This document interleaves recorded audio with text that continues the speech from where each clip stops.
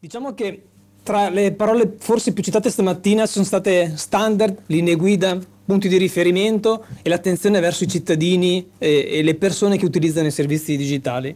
E tutto questo si inserisce all'interno di un percorso a livello nazionale che è stato intrapreso dal Dipartimento, quello di digitalizzare il Paese dal punto di vista proprio dei servizi erogati dalla pubblica amministrazione. E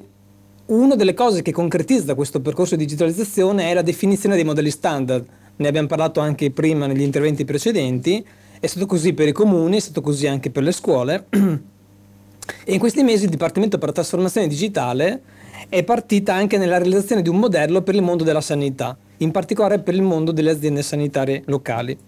Noi come azienda siamo stati coinvolti in questo percorso, è stato sicuramente un piacere, anche un onore in realtà uh, far parte di questo percorso e dare anche il nostro piccolo contributo in questo. E nel prossimo talk il collega Nicola ci parlerà del lavoro svolto per rendere conforme a Plone a questo nuovo modello dedicato appunto alle aziende sanitarie. Prego ancora Nicola. Tu che ancora. Dai, fai da solo. Vado io? No, dai, vai tu. Con questa cortesia. Autogestione proprio.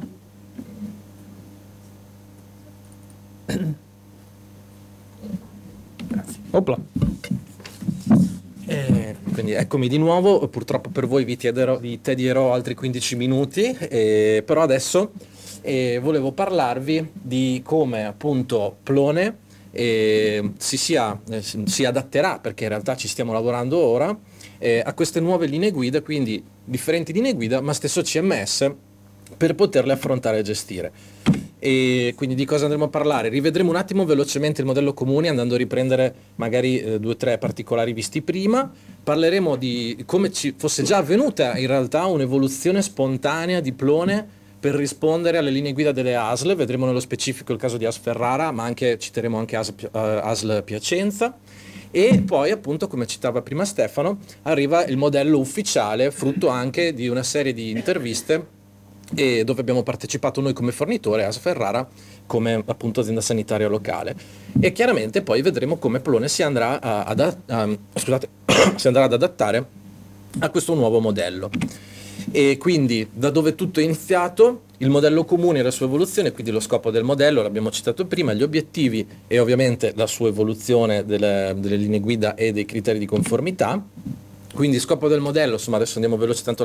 sono concetti che abbiamo già rimarcato più volte, la persona al centro, lo scopo quindi come viene citato qui è fornire al cittadino un chiaro punto di riferimento per trovare con facilità le informazioni di cui hanno bisogno. Quindi uniformità e sempre persona al centro. Questo lo ritroveremo pari pari anche nelle linee guida delle aziende sanitarie perché lo scopo di tutto questo percorso di digitalizzazione è portare sempre la persona al centro di tutto. Quindi gli obiettivi del modello comuni, ma che saranno anche l'obiettivo del modello ASL, è conformità, quindi rispondere a determinati criteri per poter verificare e approvare insomma, che quel modello rispetta le indicazioni del Dipartimento di, Des di Designers Italia e l'uniformità per ritrovare su tutto il territorio nazionale un'uniformità dei siti web da, di qualsiasi azienda sanitaria locale e in precedenza di modello eh, per i comuni, scusatemi, le PA locali. E cosa è successo? L'abbiamo visto prima, l'evoluzione delle linee guida modello comune, uno studio costante del materiale, adattabilità del team con un approccio di lavoro agile per poter rispondere più velocemente ai requisiti, Plone la sua massima flessibilità e di conseguenza chiaramente anche l'evoluzione di Plone Io Comune per tutte le pubbliche amministrazioni. Abbiamo citato GDF, abbiamo citato prima Asferrara e anche altre, altre, altri tipi di PA che hanno deciso di appoggiarsi a Plone e, e, e all'interfaccia volto che poi di fatto ci rende possibile eh, Io Comune tutte le sue derivazioni. E quindi vediamo Plone, l'evoluzione spontanea per le aziende sanitarie, lo dicevamo prima, a Sferrara e a Spiacenza, in realtà prima che venissero pubblicate queste linee guida avevano già deciso di intraprendere un percorso eh, di adeguamento spontaneo, sempre sfruttando il concetto di user-centered. Quindi stesso motore, differente carrozzeria, una base di partenza eh, identica, però per degli scopi di utilizzo leggermente diversi, perché ovviamente la necessità di un ASL, magari alcuni possono essere gli stessi di un comune, ma eh, di fatto poi molti altri cambiano, e ovviamente il concetto user-centered che abbiamo visto prima. Lo dicevamo prima, quindi Stesso motore, quello che vedete qui è uno screenshot dell'home di As Ferrara, sotto, sotto questo che vedete c'è sempre Plone, poi eh, in uno strato superiore troviamo l'interfaccia volto, che è l'interfaccia che permette poi di avere una forte usabilità anche lato redattore, che è uno dei punti di forza ecco, di, questo, di, questo, CMS. E poi qua sotto ho messo con un punto interrogativo, questo è il loghetto di Io Comune, ma di fatto poi può diventare tante altre cose, come appunto le soluzioni per le aziende sanitarie. Quindi stessa, stessa base di partenza, quello che vediamo qua è una scheda, um, una scheda servizio, questo sempre mh, preciso, sempre pre-linee guida del modello sanitario, e quello che vediamo invece sulla destra è la parte redazionale che appunto mantiene sempre la possibilità, da sempre guida il redattore in un inserimento sempre conforme ai, alle linee guida, in questo caso non c'erano dei criteri di conformità, ma c'erano comunque delle linee guida da, poter, da cui prendere diciamo, ispirazione. E dicevamo contenuti user centered, qui ho voluto mettere le due home page una di fianco all'altro per far vedere un po' eh, come è cambiato proprio anche l'approccio di, eh, di layout Vedete, questa era l'home page eh, precedente. Diciamo che c'erano già delle voci che poi sono diventate ufficiali anche nelle linee guida, come il come fare per. Vedrete, lo ritroveremo poi anche nelle linee guida ufficiali. Quindi, comunque, Asa Ferrara aveva già un approccio eh, interessante orientato al cittadino. Ma vedete poi, notate come qui in realtà è stata estremamente semplificata tutta la home page rendendo queste card ehm, vanno mirate a portare il cittadino, la persona interessata, direttamente a delle sezioni facilitate e quindi questo era già un percorso estremamente avanzato e da cui poi il motivo per cui siamo stati chiamati insieme ad Asferrara a partecipare a questo workshop, a questo incontro con il DTD perché era già stato fatto un grande lavoro senza che fossero presenti queste linee guida ufficiali. Ma lo dicevamo appunto, arriva eh, il modello delle aziende sanitarie e come è arrivato? Siamo stati appunto contattati per partecipare a queste serie di interviste e poi è avvenuto il rilascio ufficiale che chiaramente ancora diciamo in una versione molto embrionale si sta evolvendo però è già presente con tutta la sua documentazione consultabile online. Cosa è successo in questa intervista? Asferrara come azienda sanitaria e noi di Rettartolo ovviamente come fornitore so, hanno partecipato altre ASL con altri fornitori ed è stata fatta fondamentalmente un'intervista per recepire chiaramente le, esper- le, no, le, esperienze pregresse che derivavano ovviamente dalla realizzazione del portale attuale di Asferrara e anche le necessità specifiche future raccogliere feedback sia delle aziende che dei fornitori per capire come revisionare il materiale che il Dipartimento di Trasformazione Digitale e il team di Designers Italia stava eh, già realizzando. Ed è stato, posso dire, un'esperienza molto gratificante soprattutto per il fatto che siamo stati coinvolti, vuol dire che avevamo lavorato molto bene prima sia noi e ovviamente a Sferrara, non solo noi, che sto, sotto, insomma, ci tengo a sottolinearlo e arrivano il primo febbraio del 2024 viene ufficialmente lanciato il modello delle aziende sanitarie.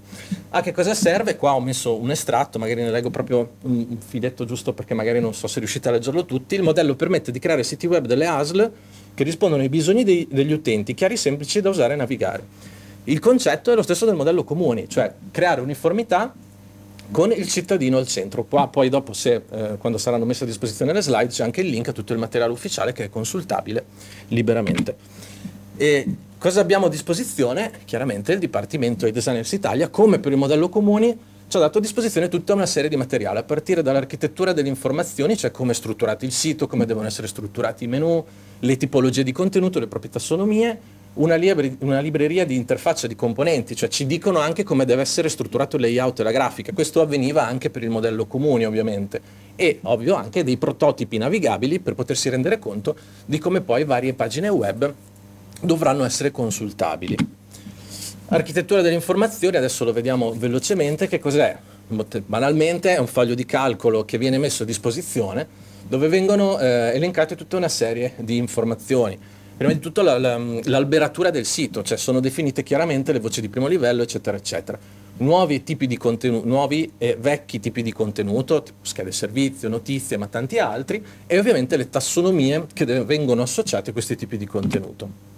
L'abbiamo citato poco fa, ecco questo è l'esempio dell'arberatura eh, di un sito ASL, vedete qua ho messo proprio per conoscenza le voci di primo livello, quindi vengono definite in maniera chiara quali sono le voci che devono stare nel menu principale, come nel modello comuni, stessa cosa, stesso approccio, stesso metodo di, eh, di, anche di rilascio del materiale, qua c'è sempre il link a disposizione per andare a consultare liberamente. e eh, architettura delle informazioni, nuovi e vecchi tipi di contenuto.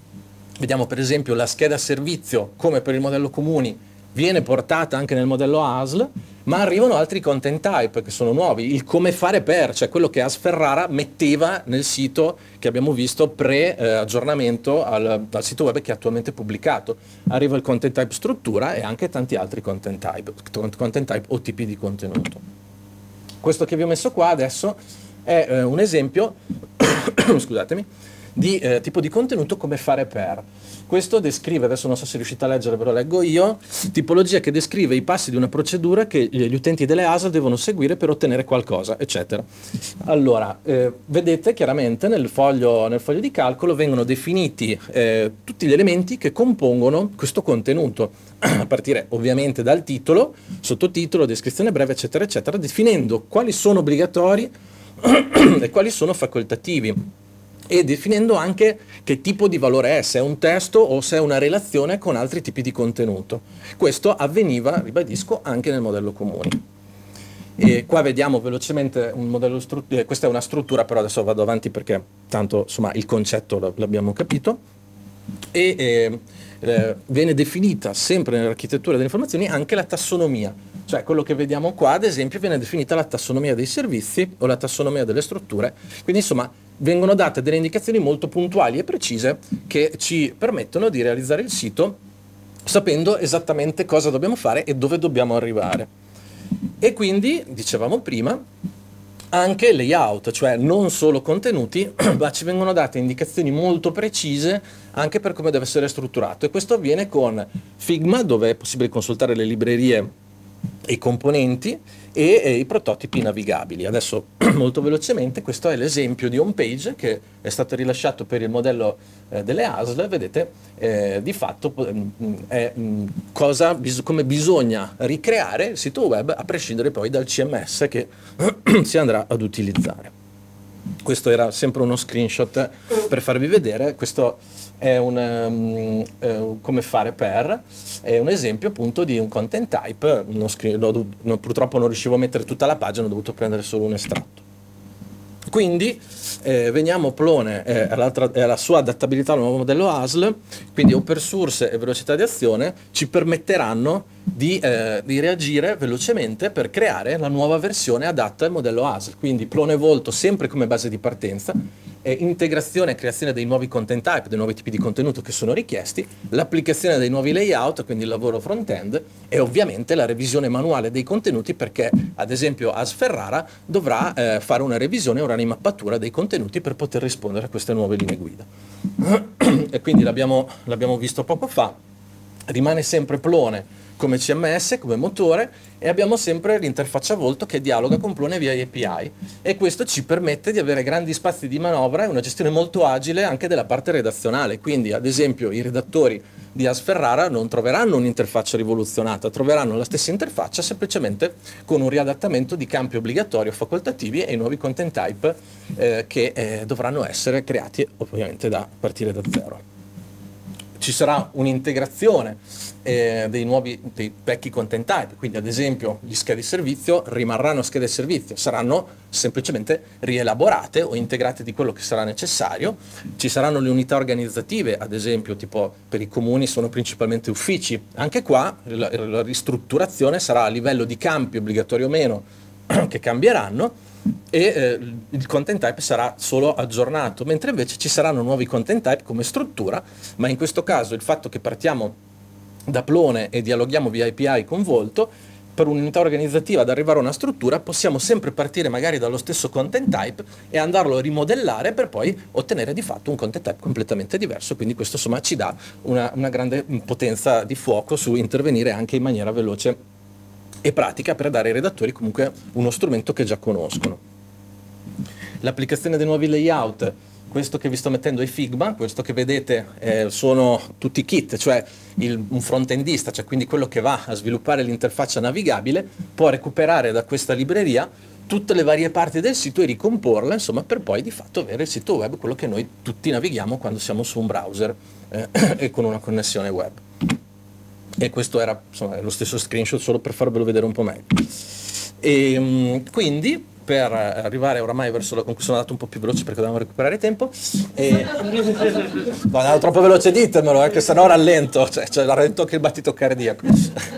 E, ehm, quindi eh, siamo arrivati alla nascita di Io Sanità. Io Sanità è un'evoluzione di Io Comune che è un'evoluzione di Plone. Ovviamente Io Sanità ancora non c'è, ci stiamo lavorando, però grazie comunque a questo passaggio saremo in grado presto di rispondere anche alle richieste delle ASL, delle aziende sanitarie locali ed eventualmente chissà cos'altro, perché poi arriveranno probabilmente anche le linee, le linee guida per i musei civici e non si esclude che, che possano arrivare altre linee guida. Quindi di fatto con questo approccio, questo metodo di lavoro, noi siamo sempre pronti a rispondere a questo cambiamento continuo. E ovviamente eh, la, c'è la parte che ho tenuto per ultima per collegarmi al prossimo intervento di Luca Dall'Acqua della Sferrara, rimane la parte redazionale e di studio delle linee guida e questo chiaramente non lo fa lo strumento ma lo fa la persona con l'ausilio dello strumento quindi ci sarà da fare un'analisi una mappatura dei contenuti esistenti, eh, una revisione redazionale, ma appunto per questo, questa parte qui non voglio andare avanti perché eh, lascio appunto la parola a Luca che ci potrà raccontare la sua esperienza diretta pre-linee guida modello, modello ASL, l'esperienza del workshop con il DTD e quello che avverrà oggi fino alla pubblicazione del nuovo sito. Io spero di non essere andato troppo veloce, di non avervi ubriacato però, di parole, però insomma dovevo compattare. Grazie.